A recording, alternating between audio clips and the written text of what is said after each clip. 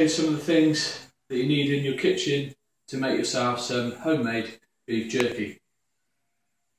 First thing you need is a food dehydrator. You can pick these up for around about £30, 30 euros, either from eBay, either Germany, German eBay, or uh, British eBay, and indeed uh, Amazon, both sites as well.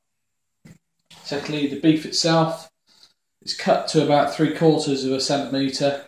Uh, this is just cheap frying steak. It's absolutely ideal for beef jerky. You also need a bowl to do the marinade in some dark soft brown sugar, muscovado sugar, something like that. Managed to get my hands on some liquid smoke. Um, I tried the hickory liquid smoke the other day and didn't really like it too much. Um, but we'll have another go with the mesquite flavour. Also, some teriyaki sauce.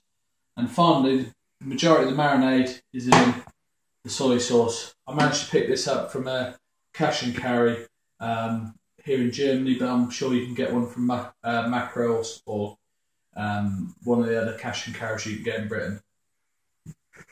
Finally, we need a sharp knife and a chopping board.